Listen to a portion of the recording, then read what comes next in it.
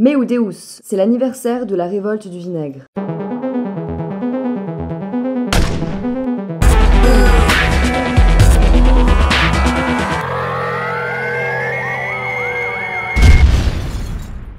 Le 13 juin 2013, les militants du mouvement pour la gratuité des transports en commun ont organisé une manifestation à Sao Paulo contre la hausse du prix des tickets de bus. Ces manifestations avaient lieu depuis des semaines, mais cette fois-ci, la police a sévèrement réagi, tirant des balles en caoutchouc sur les passants et arrêtant 60 personnes pour possession de vinaigre, destinées à se protéger des gaz lacrymogènes.